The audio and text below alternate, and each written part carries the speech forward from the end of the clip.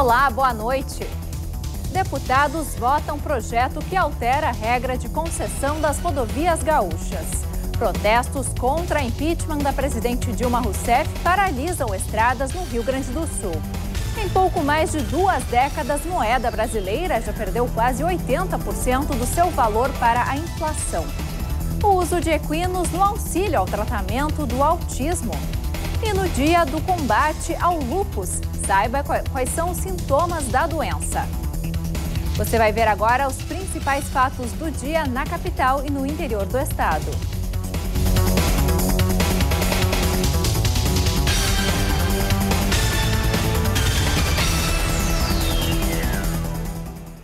O projeto que muda as regras para concessões de rodovias no estado voltou hoje à pauta da Assembleia Legislativa.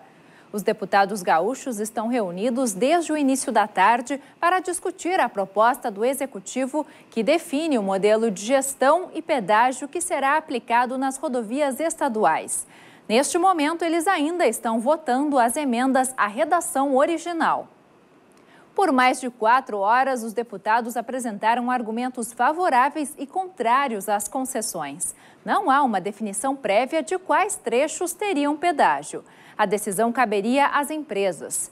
O Dyer vai escolher os projetos de engenharia, fiscalizar e executar os contratos.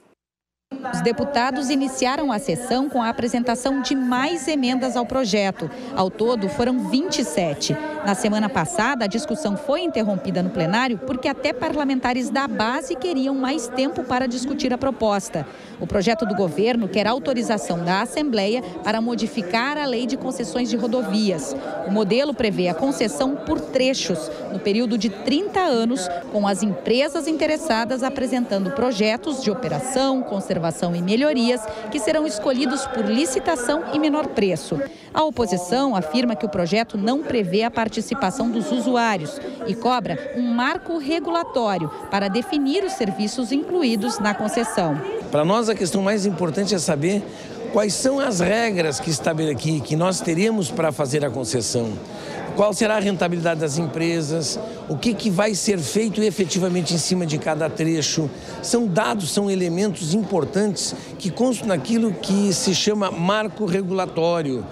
E isso não está no projeto. O governo acompanhou a negociação das emendas no plenário. Aqueles que investem em estradas venham para cá, façam investimentos. E, evidentemente que isso tem um custo que, por incrível que pareça, a sociedade está pedindo. E existem rodovias que são prioridade? Todas elas são prioritárias, mas naturalmente o mercado vai se interessar nas que têm maior fluxo. Agora, os projetos, sim, eh, de manifestação de interesse vão ser feitos e o Estado vai escolher o projeto que melhor lhe provier. Com a aprovação, as novas concessões terão duas fases: uma de apresentação de proposta de manifestação de interesse para a escolha do melhor projeto pelo governo e depois a abertura de licitação.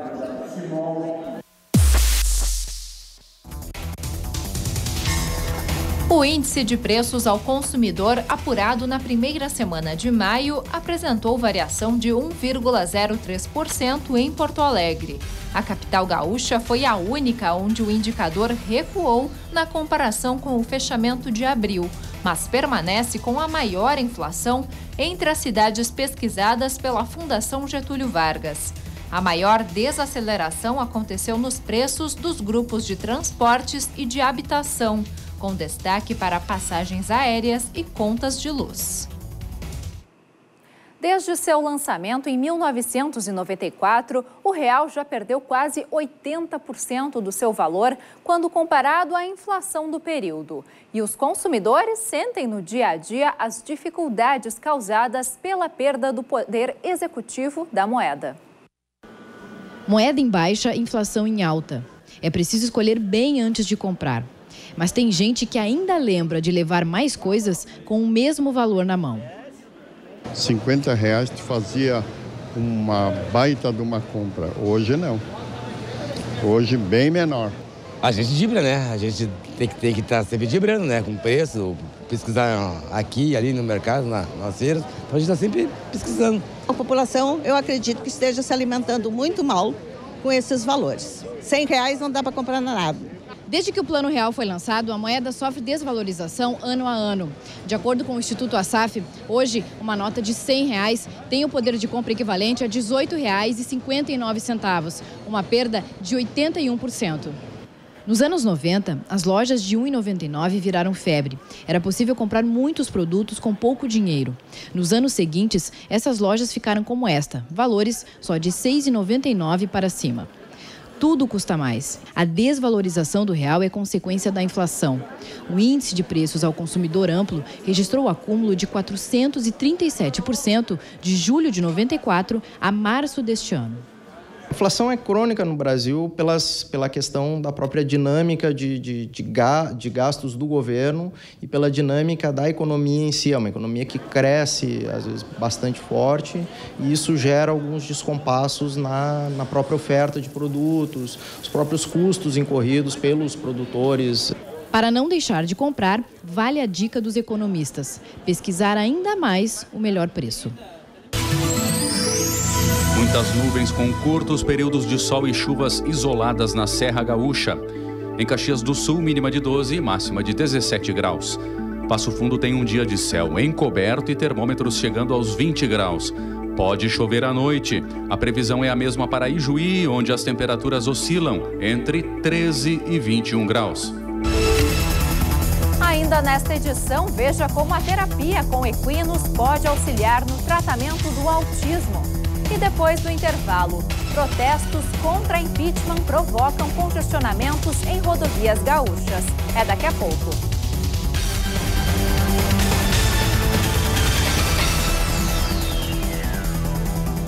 Você vê essa semana na revista do cinema.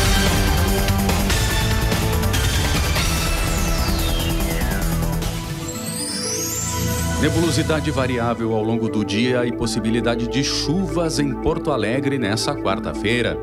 Temperaturas entre 17 e 20 graus. Novo Hamburgo também tem previsão de chuvas em pontos isolados, máxima de 21. No litoral norte, tempo instável, mínima de 18 e máxima de 20 em Tramandaí.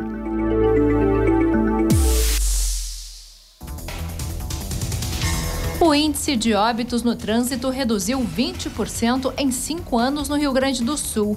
De 2010 a 2015, a taxa caiu de 20 para 16 mortes a cada 100 mil habitantes. A maior redução foi em 2015, com queda de quase 15% nas vítimas fatais em relação a 2014. Os dados fazem parte do balanço parcial da década de ação pela segurança no trânsito, apresentado hoje no Palácio Piratini. A meta da ONU é de diminuição de 50% das vítimas do trânsito até 2020. Desatenção e imprudência. Essas continuam sendo as principais causas das mortes no trânsito da capital.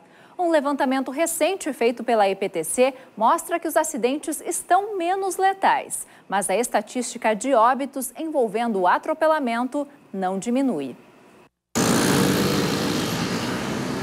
Trânsito é para a gente poder se mover com rapidez dentro do possível. Mas quando motoristas, pedestres e ciclistas entendem essa rapidez de forma diferente, aí é que ocorrem os acidentes.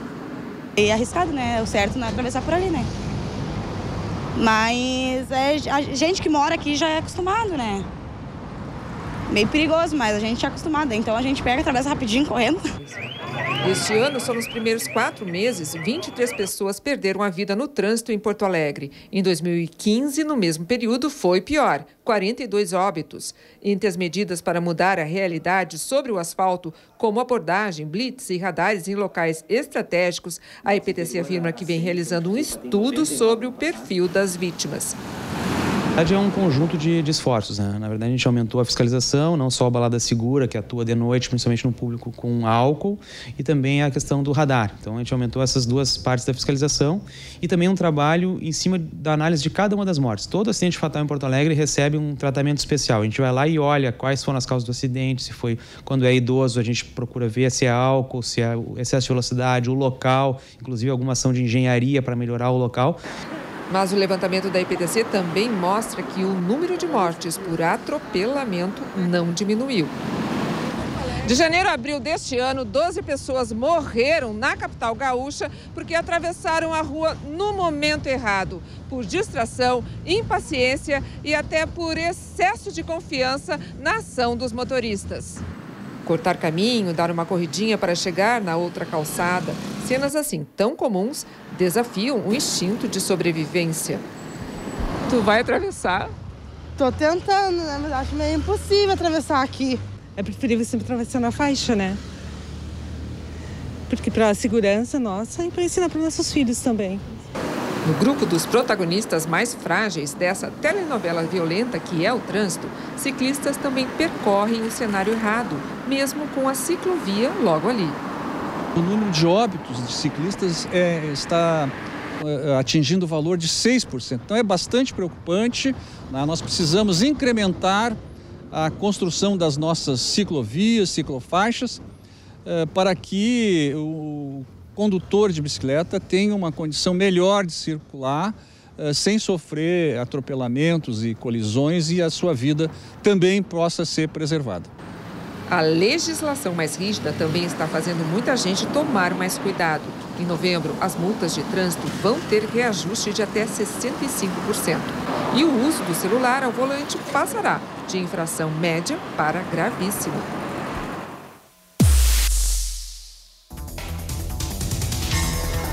Terça-feira de protesto em função do parcelamento dos salários em escolas da rede pública estadual.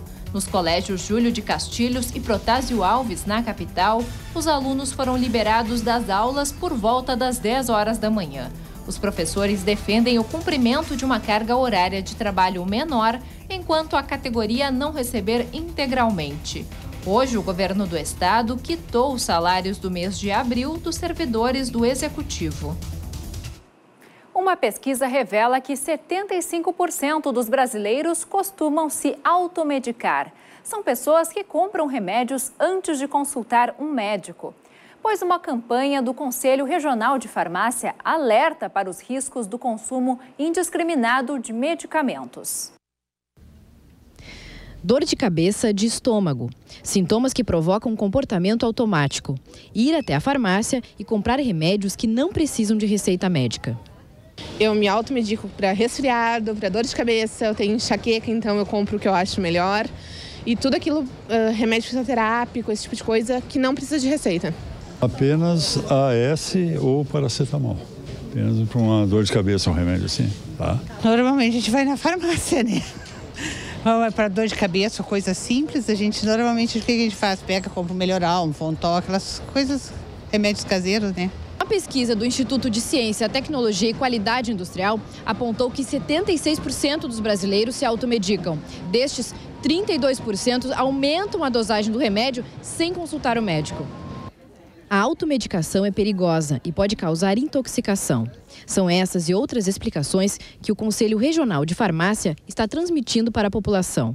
No Largo Glênio Pérez, tinha muita gente na fila esperando para medir a pressão e escutar os farmacêuticos. O uso incorreto de medicamentos como paracetamol, por exemplo, pode trazer complicações. Acetamol utilizado com muita frequência por muito tempo, ele pode acarretar sérios problemas no fígado, por exemplo, né? Ou uma pessoa que bebeu é, a bebida naturalmente ela já agride o estômago e faz um esforço maior do fígado. Se toma paracetamol para possível dor de cabeça como consequência disso, vai estar tá fazendo com que o fígado trabalhe muito mais, né?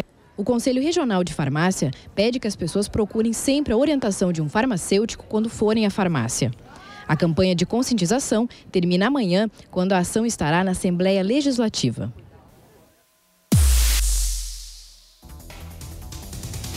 A audiência no Tribunal Regional do Trabalho nesta tarde reuniu representantes do Sindicato dos Metalúrgicos de Gravataí e da General Motors, a fim de discutir as demissões de 300 funcionários da montadora na unidade do município.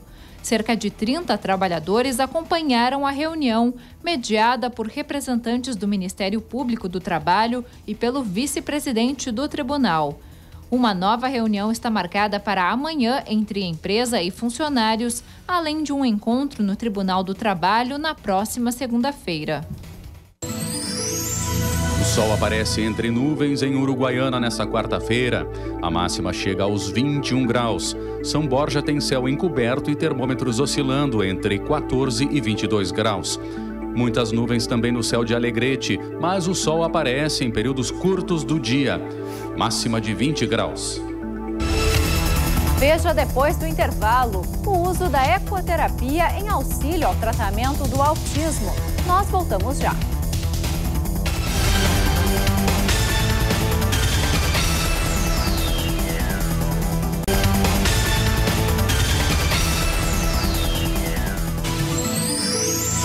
Nebulosidade variável e possibilidade de chuva à tarde em Santa Cruz do Sul.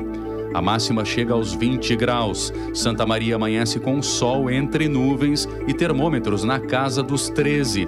Ao longo do dia, a temperatura sobe até os 20 graus e pode chover. Já Cachoeira do Sul tem tempo instável desde as primeiras horas do dia, máxima de 19. Hoje é o Dia Mundial de Combate ao Lúpus. A doença é autoimune, ou seja, é provocada pelo próprio sistema imunológico. Não tem cura e atinge principalmente mulheres em idade fértil. A reportagem da TV Fevale nos explica um pouco mais sobre as causas e o tratamento desta doença, um problema que atinge milhares de brasileiros. Eliane descobriu que tem lupus há quatro anos. A doença alterou a rotina diária dela. Ela precisou até mesmo deixar o trabalho de lado. Sim, mudou. Tanto mudou comigo com a minha família também, né? Porque eu tem dias que eu não caminho, tem dias que eu passo mal e dependo muito do meu esposo, né? Dele e da minha mãe. A lupus causa sintomas como lesão no rosto, queda de cabelo, convulsão e anemia. A doença também gera danos e manchas na pele. Por isso, o protetor solar se torna obrigatório na hora de sair de casa. Segundo esta reumatologista, fatores ambientais e hormonais podem fazer surgir a doença, mesmo em pessoas que não tenham nenhum caso na família. Lupus é uma doença reumatológica autoimune uh, em que uh, o, sistema imunológico sofre um desequilíbrio nessas pessoas. E o, o que deveria nos proteger de invasores e agressores externos passa a nos atacar e ataca vários órgãos em, em várias intensidades, uh, causando uma inflamação sistêmica. Valquíria descobriu a lupus há 18 anos. Para ela, a Associação de Lupus do Vale dos Sinos é um lugar para encontrar pessoas que entendem como é ser um paciente com esta doença. Às vezes as pessoas têm tanto preconceito, né? E tanto nojo de pessoas que têm lupus ou artrite, outros tipos de reumatismo. E aqui não.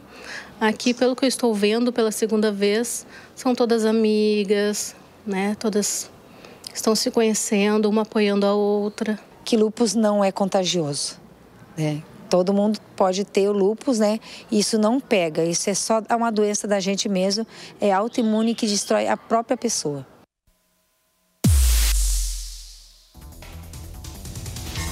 Cerca de 3 mil pessoas estão reunidas na esquina democrática, na capital, em protesto contra o processo de impeachment da presidente Dilma Rousseff. Os manifestantes fazem uma vigília cultural com o pronunciamento de artistas. O ato foi organizado por integrantes da Frente Brasil Popular e Frente Povo Sem Medo e conta com o apoio de movimentos sociais, centrais sindicais e União Nacional dos Estudantes. Os protestos contra o impeachment da presidente Dilma Rousseff começaram de manhã e interromperam o trânsito em diversas rodovias do estado. Em Caxias do Sul, a BR-116 foi bloqueada em vários pontos, mas o trânsito foi liberado a cada 15 minutos. Mesmo assim, houve congestionamento. Também houve protestos na região metropolitana. Uma situação que exigiu muita paciência de quem perdeu o direito de ir e vir. No pedágio da RS 040, em Viamão, grandes filas se formaram por causa do protesto que durou duas horas e meia. Na BR-116, em Esteio, a manifestação foi em frente à refinaria Alberto Pasqualini. Depois de dois bloqueios, os trabalhadores iniciaram uma caminhada pela pista lateral da rodovia. O congestionamento atingiu 7 quilômetros. Trânsito interrompido também na Ponte do Guaíba devido ao bloqueio da BR-290 em Eldorado do Sul. Quem não pôde desistir da viagem precisou de paciência. Não tem, não tem lógica, entendeu? Os caras querem, querem criar uma, uma, uma empatia com as pessoas e transtornam a vida da, das criaturas desse jeito, né? Atrapalha a vida de quem tem que trabalhar. Está trabalhando todos nós aí, estão tudo empenhado aí por causa deles. As duas pontes sobre a BR-290 ficaram tomadas de carros. O congestionamento era tão grande que chegou até o pedágio de Eldorado do Sul, no sentido interior capital. A alça de acesso da BR-448 também ficou trancada. Entre Porto Alegre e Guaíba, os protestos também provocaram atraso no deslocamento de ônibus e do sistema hidroviário. No terminal do Catamarã, no centro da capital, muita fila durante a manhã. Que diferente hoje, variar um pouquinho a rotina. Estou atrasado. Tá tudo trancado na ponte. Com a interrupção das estradas, a grande procura pelo transporte fez com que passageiros esperassem por cerca de três horas para embarcar.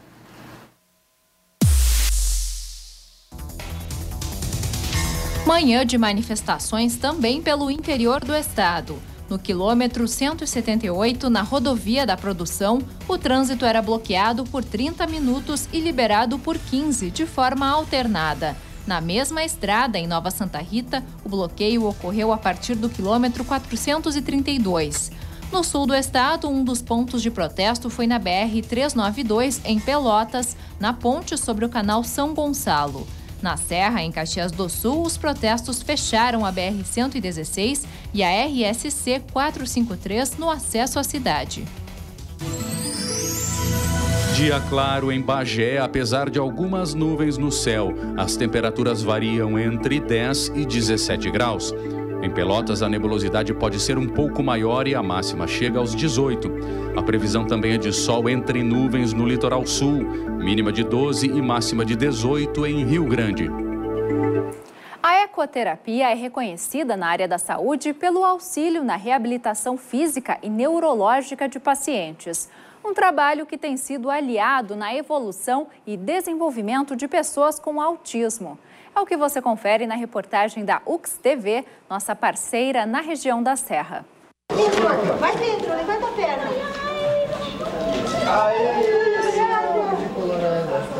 Basta montar no cavalo para o Pedro aí se transformar.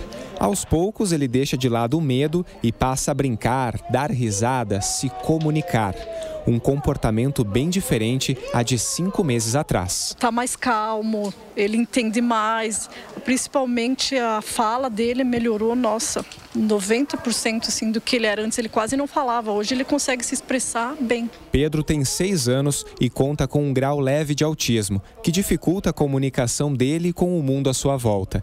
Entre as diversas atividades lúdicas que podem ajudar nesses casos, a família de Pedro encontrou na ecoterapia os melhores resultados. O autista gosta muito de de andar de carro, de balanço, né, de brinquedos que sempre promovam o movimento. Nesse sentido, a ecoterapia é perfeita, porque ela alia a questão da afetividade, que é o contato com os animais, o contato com a natureza. Os familiares ficam próximos, eles não ficam numa sala isolada, eles ficam junto, porque a gente também está favorecendo esse vínculo. Essa pista de ecoterapia conta com um convênio da Secretaria de Educação de Caxias desde 2015. Hoje, 40 crianças do município que têm alguma dificuldade de comunicação fazem atividades aqui. Entre elas, as crianças com espectro autista, que brincam, se movimentam e, por que não, ganham até parabéns quando estão de aniversário, como o Pedro.